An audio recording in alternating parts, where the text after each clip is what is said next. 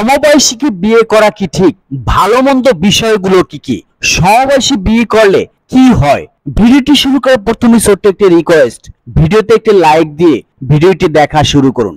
বিয়ে হচ্ছে দুজন মানুষের মধ্যে একটি বন্ধন, যা সারা জীবনের জন্য অটুট থাকবে, আর তার জন্য নিজেদের মধ্যে বোঝাপড়া থাকাটা বড় বিষয়। ভালোবেসে বিয়ে হোক আর পরিবারগত ভাবে বিয়েই হোক, সবকিছুতেই বোঝাপড়াটাই প্রধান। দুজন যদি দুজনকে পরে নিতে পারেন, তাহলে সংসারের সমস্যা আসলেও তা সমাধান করা সহজ হয়ে পড়বে।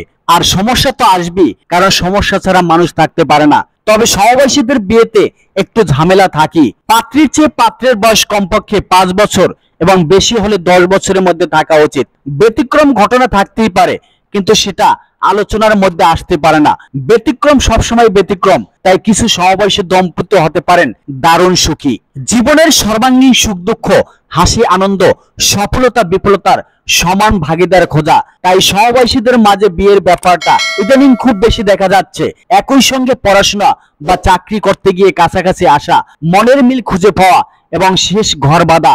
সহবাসী স্ত্রীর সঙ্গে বন্ধুর মতো সবকিছু শেয়ার করা যায়।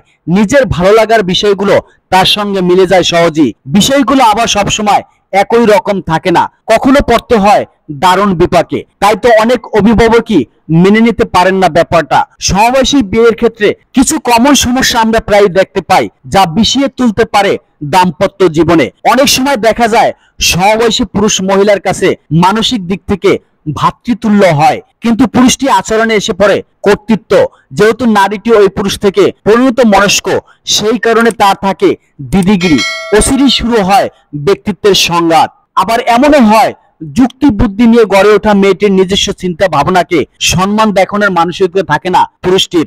মেয়েদের যেহেতু পারিপার্শ্বিকতা বোঝার ক্ষমতা একটু বেশি, ছেলেটির তুলনায় মেয়েটির যখন বেশি সচেতন, তখন তা হয় দাম্পত্য জীবনের মতভেদ। জটিলতা ইত্যাদির কারণ হয় একে অপরকে যথাযথ সম্মান দিতে নারাজ। আবেগে ভাটা পড়লে সম্পর্কের পরিণত হয় ডিভোর্সে তবে এই সংঘাতের মধ্য দিয়ে কেউ টিকে গেলে আসে অনেক ঝামেলা। দুজনের বয়স যখন চল্লিশ থেকে পঁয়তাল্লিশের মধ্যে নারীদের জীবনে এটি একটি টার্নিং পয়েন্ট নানা স্বাভাবিক সংকট তৈরি হয় এই সময়। সন্তান ধারণের ক্ষমতা হারায়। স্বামীর ইচ্ছার বিরুদ্ধে অনিচ্ছা। ক্যালসিয়ামের অভাব ঘটে। একই সঙ্গে চলে মানসিক সমস্যা। আশা করি বিষয়গুলি খুব সুন্দরভাবে বুঝতে পেরেছেন। ভিডিও সম্পর্কে যদি কোনো প্রশ্ন কিংবা মতামত থাকে, তবে তা কমেন্ট বক্সে উল্লেখ করুন। আর ভিডিওটি যদি ভালো লেগে থাকে, তবে লাইক এবং শেয়ার করুন। আর যারা আমাদের চ্যানেলটি এখনও সাবস্ক্রাইব করেননি, তারা দ্রুত আমাদের চ্যানেলটি সাবস্ক্রাইব করে নিন এবং পাশে থাকা বেল আইকনটি প্রেস করুন, যাতে আমাদের চ্যানেল থেকে ভিডিও আপলোড করার সাথে সাথে আপনারা দ্রুত পেতে পারেন। এতক্ষণ সাথে থাকার জন্য ধন্যবাদ।